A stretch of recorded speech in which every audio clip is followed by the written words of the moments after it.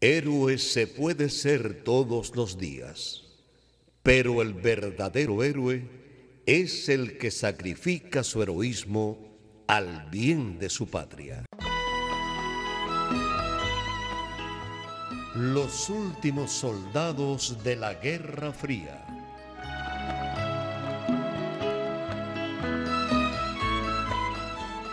Obra original de Fernando Moraes, adaptada para la radio por Manolo Ramos. Asesor Amado Agramonte. Dirección Carlos Alberto Valdivia.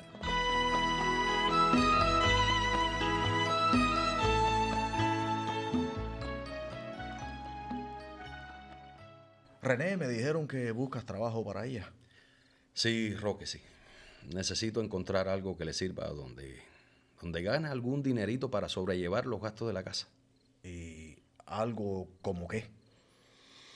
Bueno, ella está dispuesta a trabajar en lo que sea. Pero yo no quiero que trabaje en algo duro, Roque. Olga es ingeniera, una gente inteligente. No quiero denigrar su orgullo. Pues mira, tienes muy buena suerte, René. Me parece que ya tengo el trabajo para ella. Es algo que le va a encantar.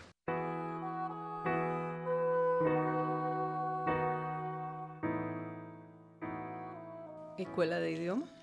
Sí, Olga. Según Roque, se trata de una empresa que se ocupa de adiestrar a los cubanos residentes aquí en la Florida en el habla del idioma inglés. La escuela es propiedad de un cubano que le va bien aquí y se ocupa de ese tipo de negocio. ¿Y qué nombre tiene esa escuela? Bueno, tiene un nombre un poco extraño. Se llama Inglés Ahora. El asunto es que en ese lugar están buscando a alguien que se ocupe de vender los cursos a través del teléfono.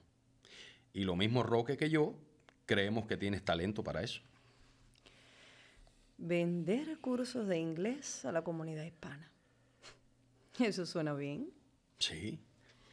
Mira, tú blancos serán los inmigrantes recién llegados al país y que se agrupen en la franja comprendida desde la Florida hasta California, pasando por los estados de Texas, Nuevo México y Arizona.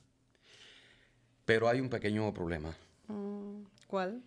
Que como la diferencia de uso horario entre los dos extremos de esa franja es de cinco horas, la jornada de las telefonistas deberá comenzar a la una de la tarde y se prolongará hasta las 11 de la noche. Eso no es cosa que me asuste, René. Lo sé, lo sé. Además, hay también buenas noticias. Al salario de 5 dólares por hora trabajadas, se añaden además las comisiones calculadas sobre lo que consiga venderse. Espérate, espérate. ¿Cómo es eso de lo que consiga venderse? Sí, inglés ahora. Vende desde simples diccionarios hasta paquetes de clase en casetes de audio o de video.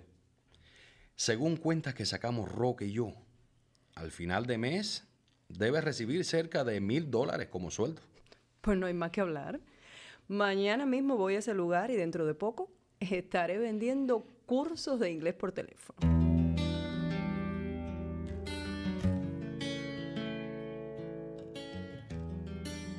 Son cerca de las 7 de la noche. En el apartamento de René González, su hija Irmita se encuentra sentada ante la mesa comedor, recortando ciertas fotografías de un libro de historia llevado desde Cuba por ella. Ha terminado de cortar la última foto cuando la puerta de la sala se abre y por ella entra su padre. Luego de cerrar, se dirige directamente hasta el comedor donde está su hija. Antes de llegar, deja el portafolio sobre una de las butacas y luego se encima a Irmita, le da un beso en la mejilla y dirige una mirada curiosa sobre las fotos. Una de las fotos, sobre todas las demás, llama poderosamente la atención a René. Su dedo índice se tiende hacia ella y a Irmita le parece apreciar que tiembla lentamente. Esa foto, mi niña, ¿para qué son? Para guardarla, papi. Es que aquí en los Estados Unidos no veré nunca las fotografías de quienes hicieron la revolución. Mira, esta es la foto de Fidel cuando dijo el discurso en el entierro de las víctimas de Barbados. Sí, sí, ya veo. Hija, ¿puedo hacerte un pequeño pedido? Claro, papá. Sería mucho pedirte que esas fotos, y sobre todo la de Fidel, las guardes entre tus libros y en un lugar donde solo tú sepas de ellas. ¿Por qué? ¿Por qué? Sí, papá. ¿Por qué debo esconder estas fotos? Porque en este país donde vivimos ahora, todo lo que huela a Fidel y a comunismo puede asociarse a la palabra peligro. ¿Comprendes? Sí, claro. Pero papi, quiero hacerte una pregunta. Dime. ¿Tú odias a Fidel? Claro que no, mi hijita.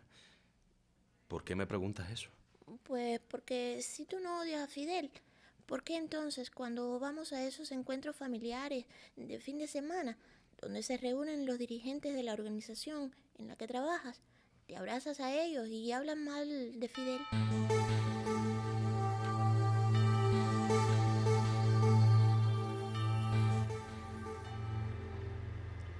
¿Pasa algo, René? Es que llevas más de 10 minutos que no despegas los labios y cuando te hablo solo responde con monosílabos. No, no, no, es que... Es que pensaba, Roque. Pensaba. Pero olvida eso ahora. Me recogiste para hablarme, según tú, de algo muy importante. Bien, ¿de qué se trata?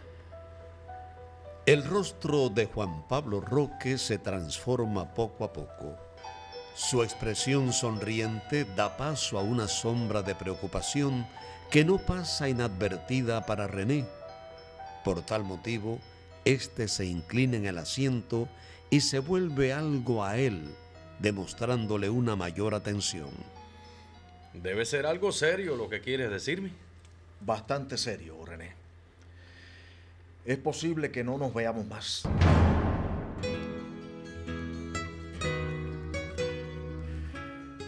Actuaron como Olga, Lidisbel Rosado del Sol, Roque Manuel Hernández, Irmita María del Rosario Muñoz, René Misael Montano. Grabación Joel Rocha. Musicalización Hailer Cañizares. Efectos Michel de la Paz narrándoles Ernesto Valdés, quien los invita a escuchar el próximo capítulo de Los últimos soldados de la Guerra Fría. Tú eres mi mano, si alejados amigos no puedo saludar.